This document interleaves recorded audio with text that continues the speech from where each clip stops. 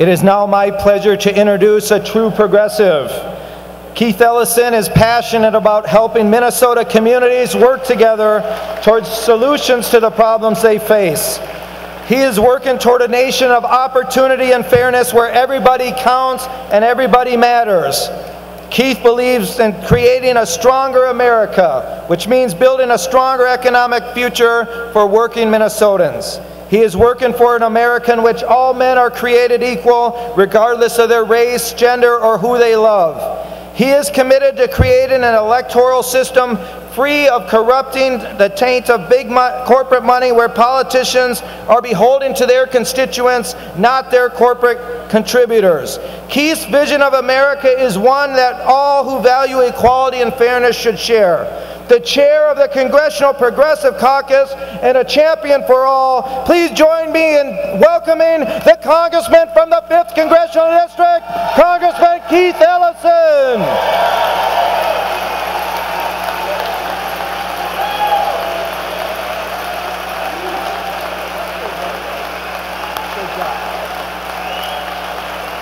Thank you, Ken. Hey, everybody. How you doing, DFL? How is the DFL today? That's good.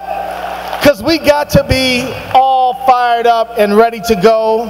We have a big challenge in front of us right now.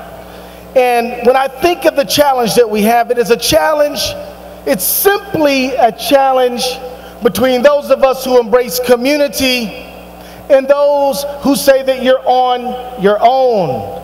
Those of us who believe that our government has a responsibility to make the rules fair, promote equality, and protect us. And those who believe that, you know, it's all about giving as much money you can to the wealthy and taking as much as you can from the poor. We've got to be in the middle of a divide and we've got to stand there and call for the American dream for everyone in this state and in this country.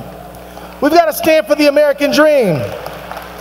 Now, one element of the American dream, one element of the American dream is the right to vote. The right to vote. You know, when this country was founded, it was not enough. It was not enough to be a white male to vote. You had to be Protestant and you had to own property. But then there was a revolution. And the Jacksonian revolution came, and then being a white male wasn't good enough to vote. But then we had the Civil War, and we defeated the Confederacy, and we said that men could vote. And then women said, wait a minute, what about us? And women won the right to vote in 1920. And then, and then we had some trouble again with the right to vote. And so the civil rights movement fought and fought and fought for the right to vote. And we got rid of the poll tax. We passed the 1965 Voting Rights Act. And then Young people, young people, give a hand for young people. Young people said, look, if you're going to send me off to Vietnam and tell me that I can carry a gun and get shot, but I can't vote, that's bogus. And the 18 year olds won the right to vote. And so if you look at if you look at America, our great country we have seen an expanding, an expanding right to vote. We have been increasing the right for people to participate and to choose their government. And so today, this voter ID bill is an ugly stain on our trajectory, on our right to vote, expanding the franchise for everyone. So I'm holding in my hand a pledge to vote no. Does it, hold it up. If you got one, hold it up. If you got one, get it up. Let me see it. Come on now, I don't see it. Put it up in the air.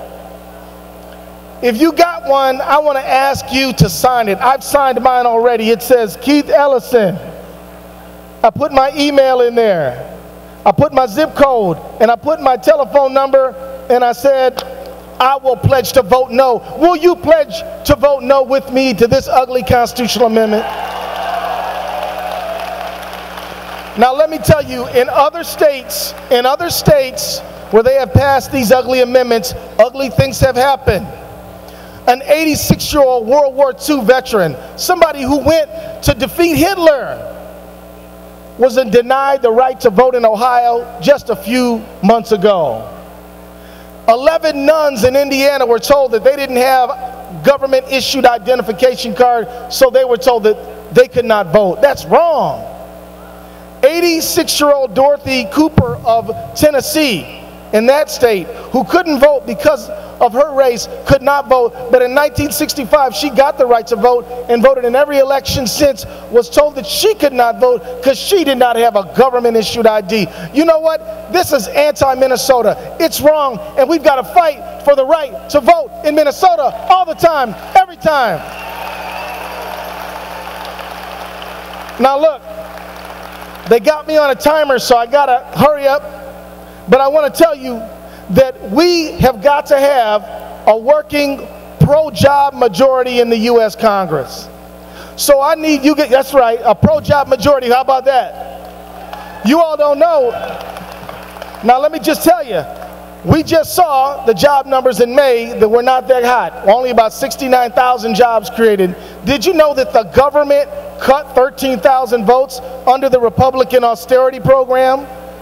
We got to reject this austerity program, and we've got to have more people who are for jobs, pro jobs, who understand that a police officer, a firefighter, a nurse, a person who check, makes sure our water is clean, those government public workers are just as good, just as valuable, and just as important as anybody else. So we need your help. We need your help to elect Mike Obermueller in the second district, who's going to take out John Kline. Anybody from the second district around here? All right now. We need your help to elect Brian Barnes in the third district. Anybody from the third district?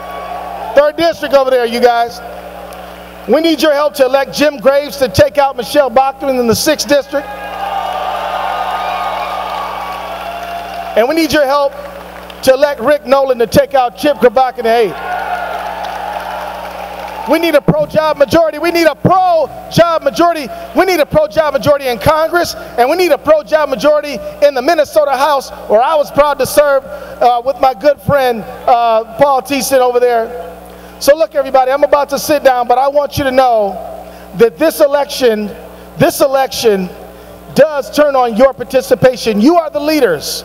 You are the vanguard. You are the ones in your neighborhood who everybody knows. We need you to stand for expanding the vote and defeating voter ID. And I'd be very happy if you would join me in supporting ranked choice voting, which I think is something very good as well. We need to be there for the LGBT community and we need to be there for civil and human rights for all people because let me tell you, it is true. The slogan of my campaign is everybody counts Everybody matters. Say it with me. Everybody counts. Everybody matters. Everybody counts. Everybody matters. And that is not only an outcome, that's not only standing up for civil rights for all, that's not only standing up for working men and women and the right to collectively bargain, that's not just standing up for the environment, it is also engaging people in their own in their own better life. That's going out and reaching out to everybody to let the people participate in making this life a better life. It is not just an outcome, it is also a process. So you guys get out there and you get everybody to those polls because we got to win this thing and we got to win big. Come on, Minnesota, let's do it. Thank you very much.